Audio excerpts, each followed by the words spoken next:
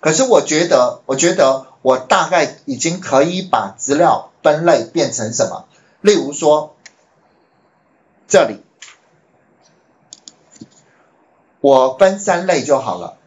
我分三类，就是这边是不是有一个新闻公告，属于零以下的，我叫做 A。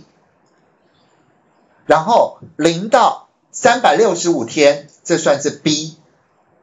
三百六十五天以上以上的，我称为 C。可以知道我在做什么事吗？然后我到时候我要分析 A 是哪几个单位发出来的公告，C 是哪几个单位发出来的公告。可以知道我现在做的这件事吗？好，所以在这个地方，我是不是又要？分别把每一列的资料去判断，如果它是大于，呃，例如说小于等于零，好，我就视为是 A。如果这个值大于等于，呃，大于三百六十五好了，我就视为 C，其他都是 B，可以吗？好，那这个函式会不会写？首页新增资料行，因为每一个都要算，然后这边应该就是新闻公告，新闻公告其分类。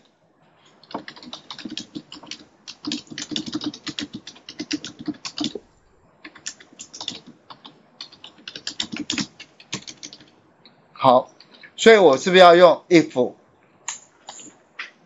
用 if 好 tab 键，假如呢？假如我的这边要有一个判断式，这个判断式，然后接下来后面接的是什么 true 的状态，然后这边接的是 false 的状态。好，所以这跟 Excel 的用法是不是都一样？你放心，等一下就开始要变了，因为这边都算是简单，你们可以接受。接下来那个 calculate。就很重要了。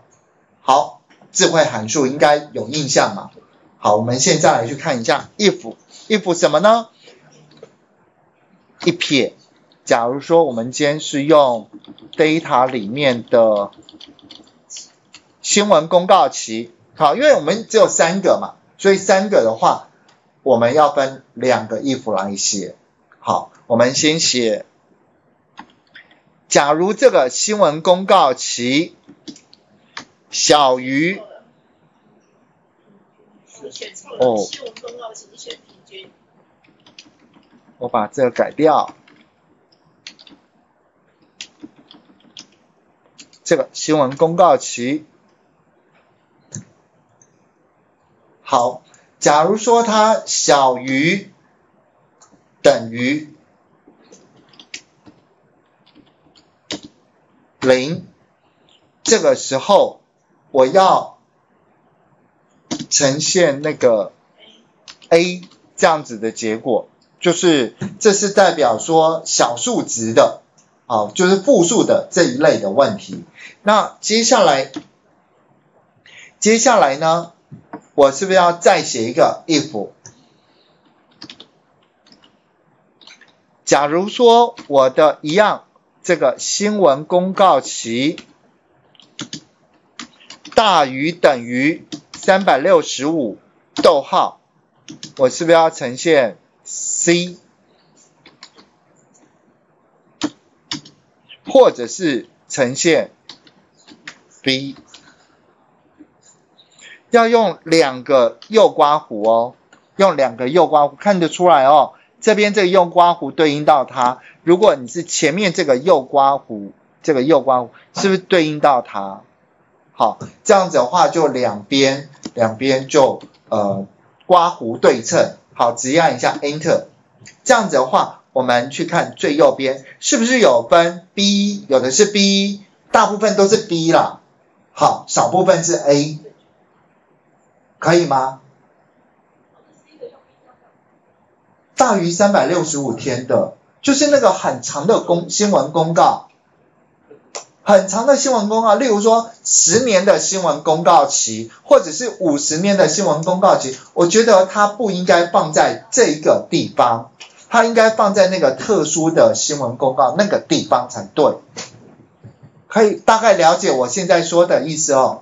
A 了解这是不正常的，可是过长的新闻公告是不是应该放在别的地方？我们全部等一下都要去看，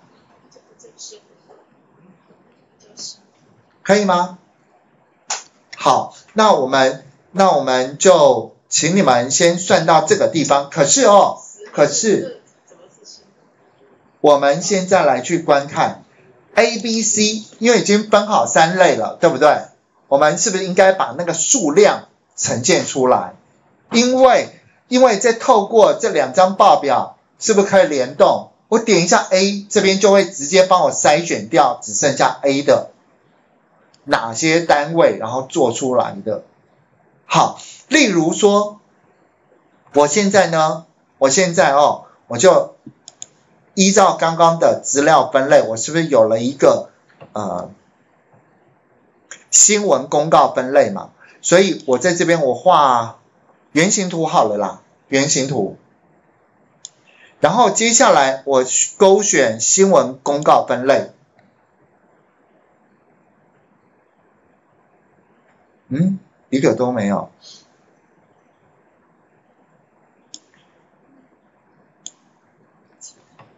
这个意思就是说，A 占一点点，C。占这个，然后这边有看到吗？大部分都是 B，可以这样知道我现在说的是什么意思吗？